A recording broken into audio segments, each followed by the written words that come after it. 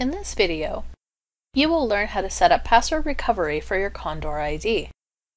This will help you to unlock your Conestoga account remotely if you lose access for any reason.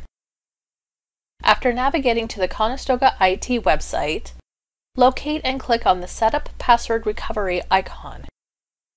Log in using your entire Conestoga email address and password.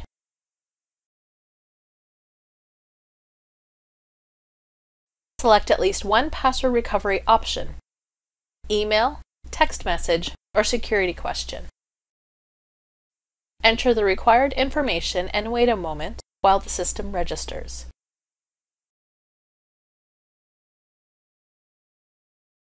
Enter the verification code sent to you by the means of the method you selected.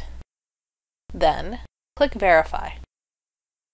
Repeat these steps, if needed, for the other recovery options you wish to enable.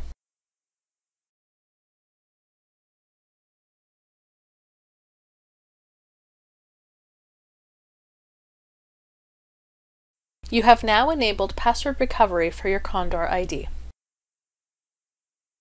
To get more help on this, visit the Conestoga IT Support website or contact the Teach Me Tech staff at your campus library.